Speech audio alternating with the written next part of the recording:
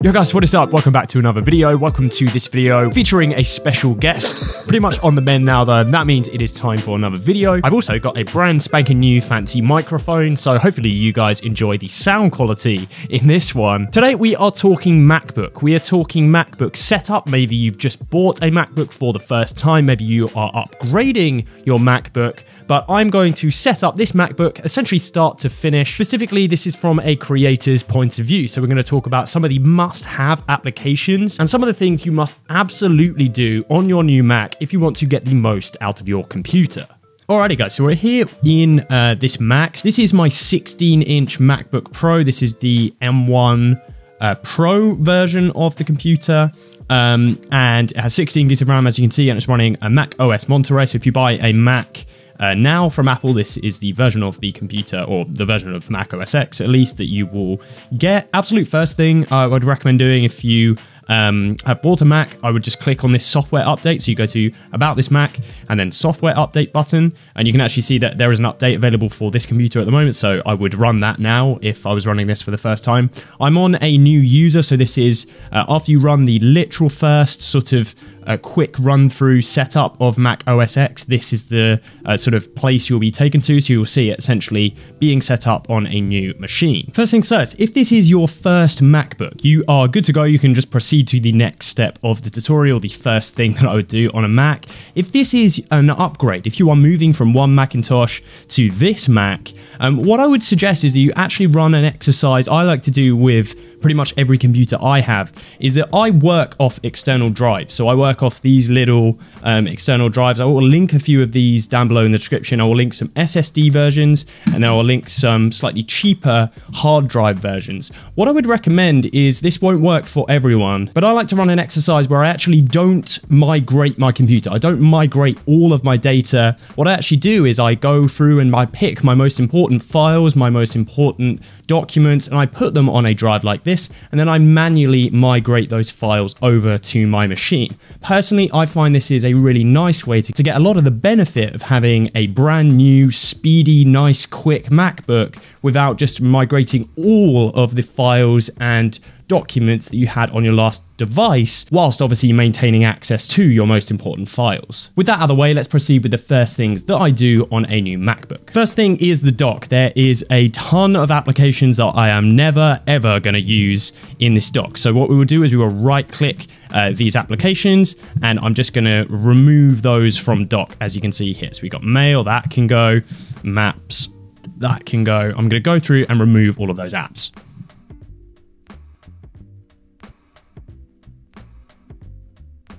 There you go, you can see how much smaller that dock now is. We'll add some applications into that a bit later, but for now that is looking nice. If we right click on here and we go to dock preferences, there are a few things we need to just sort out. First of all is we can adjust the size. You can also do that by actually scaling up and scaling down as you can see here. I'm going to leave the position to the bottom. You could also change this to the left or to the right as you can see here. I'm going to tick minimize windows into the application. That means if I minimize, it's going to go into the app itself and not take up an additional space on the dock. I'm going to tick automatically show and hide the dock. That means that when we go down here, because uh, we're on a MacBook with limited space, we want that to show and hide as you can see here. And then we're also going to tick off show recent applications in dock as well. And that is again going to just streamline that dock experience uh, and we can scale this up or down depending on how big you want that dock to be. Okay, cool. So let's switch out of that and we are going to open system preferences and then just go through a few absolute must do things, uh, in my opinion anyway, on a new Mac computer. So we'll go over to the general section of uh, the system preferences here. First off, we are going to go to the uh, trackpad gestures section of uh, system preferences, and then we are going to turn off, it's already turned off on this installation. By default, every time you tap on your trackpad for your Mac, that's going to register as a click. And uh, personally, I just don't want that. There's times where you just brush the keyboard and you don't want it registering as a click every time. Nice to turn that off. Once we've done that, we're going to go back and we're going to go into general, as you can see here. And then lots of people like dark mode. As you can see, what this does is just dims everything right down. Um, I actually do quite like light mode, um, but I prefer it in the day. So I'm going to select auto. And this means that over the course of the day, um, when it gets uh, to darker times, it will switch over to that night mode section. Um, and just that's just a much better experience for me personally. I'm going to go here and I'm going to select always on show scroll bars. That just means that when you're scrolling on your Mac, uh, there will always be a scroll bar there. Personally, just a small preferences thing. We're going to go back. We're going to go into Bluetooth over here and we're going to click show Bluetooth in menu bar. It just means that every time you can connect to your devices and you can only do that and you can do that from one individual click instead of having to go through your system preferences every single time. Next, let's change this wallpaper. So we're going to go down to desktop and screensaver. As you can see, we're going to go into Apple and Apple has added something called dynamic wallpapers. So we can actually select uh, a wallpaper that will change according to uh, the day, which is like super, super cool. So I've selected this one now. You can actually see that we have this like beautiful looking wallpaper that will uh, change based on uh, what time it is of the day. So that's like a, just a super nice feature. Get rid of that, uh, this kind of like texture Mac OS X wallpaper.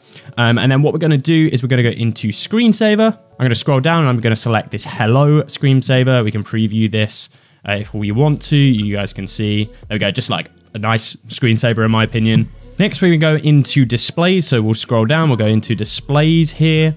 Um, I'm going to turn off automatically adjust brightness. I personally be, prefer being able to adjust the brightness manually via my uh, keys on the keyboard. And then we're going to go into night shift and we can turn schedule sunrise to sunset. What this will do is it will adjust the temperature of your display according to the light um, on uh, the, the available light in the room. So it's like a super, super nice thing. It just means that your eyes aren't going to get tons of blue light coming into them towards the end of the evening.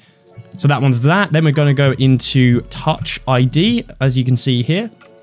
And I'm going to put uh, use Touch ID for unlocking your Mac, as we can see. And then uh, if you're on a Mac, Mac with Touch ID, so first of all, you'll obviously want to set this up. What I would actually recommend is that you increase the amount of fingers um, in your Touch ID system. So you just have access to you know many more fingers, and you can uh, unlock with your right hand or your left hand. So you can see how easy the process is. But then you can just add fingerprint and do that repeatedly for how many fingers you want in the system. And then finally, we have an absolute game-changing thing. If you don't use them, uh, you absolutely should. They're one of my favorite things uh, on Mac OS X. One of my favorite uh, features. So it's called Hot Corners. So you can find this in the screensaver section, um, the desktop and screensaver section. If you go into the Hot Corners thing in the bottom right hand corner, you can see right now it's set to Quick Note.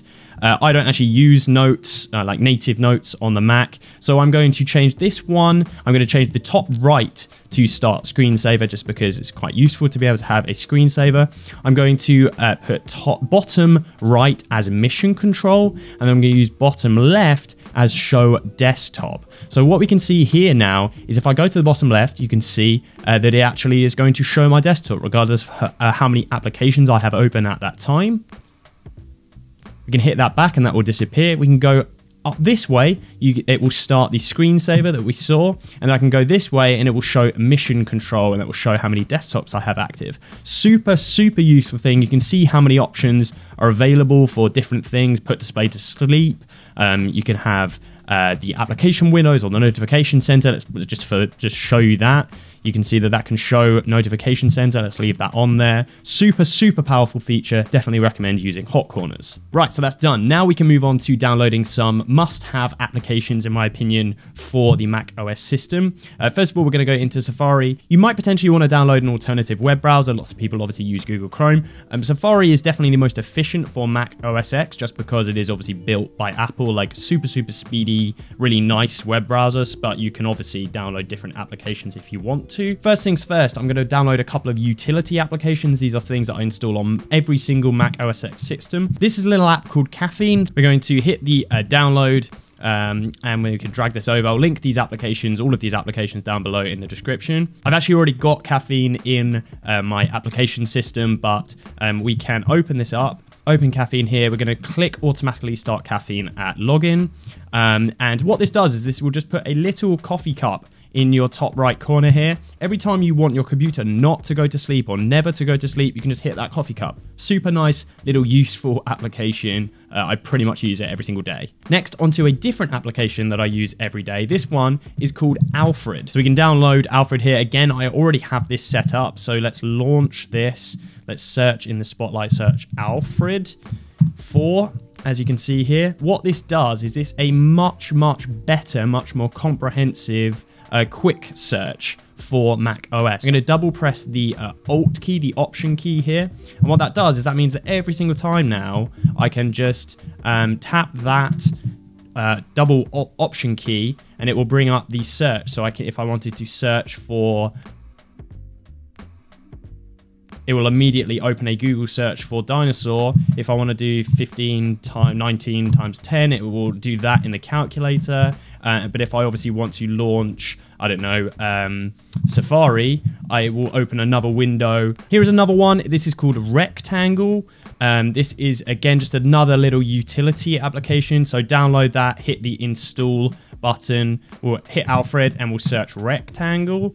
And what this will let you do is you can see it just allows you to snap all of your windows. So I can open this up and open up and we'll snap him to the middle window, we'll snap to the top right half, uh, maximize or almost maximize, and then hotkeys for all of these. So it's just a very, very nice, very fast way to manage your windows. Next up is a paid application. This is uh, called Colors. So we'll go up into the search here and we'll go down to, uh, excuse me, it's called Color Snapper 2. Um, and again, this will be linked down below in the description. So let's skip setup here. Okay, so my license is for my other user, uh, but I have previously bought this um, and you can click pick color and you can see that you can pick any uh, sort of hex or any color that is appears on your screen. Super, super useful for creators. Not going to be useful for everyone, but if you're like a designer or you do any work in like Photoshop or any photo work or anything like that, this is a super useful tool. You can click and it will suggest, it will give you that hex code for the color. Uh, the, like, in my opinion, this is just something that should just be built into Mac OS X, but uh, this is a really good utility to use if it's not. Okay guys, so I've switched um, installations here. So this is my uh, normal day-to-day -day user um, everything's set up here. And you can see how different the dock actually looks. So this is where I use uh, this is like kind of all of my day-to-day -day applications are installed. I'm not going to install those start to finish again just because that's kind of pointless. But you can see a lot of the applications that I use. So obviously I have Adobe Suite uh, Adobe Creative Cloud I use uh, mainly out of that I use Photoshop. I use uh, Lightroom to manage my photos and any shoots um, as I am a working photographer and videographer. Um, I have Premiere Pro, but I don't really use it because I edit in Final Cut Pro. And then I also have After Effects, which I use a lot as well. So that's that. Those are the sort of workhorse applications that I use on a daily basis. And I have a couple installed in the app in the uh, dock here. This is really the way you would want your dock to work, is it's just like the most important applications to you live in that dock. Um, and that's the way that I run mine. And then finally, the uh, app that I want to show you to just to wrap up the video is an app called Notion. This is uh, basically I run my whole business or plan my whole business, uh, both YouTube business and uh, my freelancing business through Notion. You can see that like I have these different tabs, these different uh, things, and then I basically, uh, so these are my to-do lists. This is why I don't use the default notes app. all of these are working project. So this is the uh, document that I was using for this video. I plan and uh, do things for this video inside Notion and everything is accessible like from my phone. Uh, just like that. Very, very useful application. And to be honest, guys, I think that really wraps up the video. That is how I would set up a MacBook start to finish uh, from the point of view of someone creative, uh, someone who does creative work with one of these machines. I absolutely love the M1 MacBooks, the M1 Macs. First of all, if you guys have any tips for using Mac OS X or setting up Mac OS X, definitely leave those in the comments down below. I mentioned that I'm a working photographer and videographer. If you'd like to see a day in my life shot with the Samsung S22 Ultra, you can check that out on screen now. Otherwise, I'll catch you guys next time.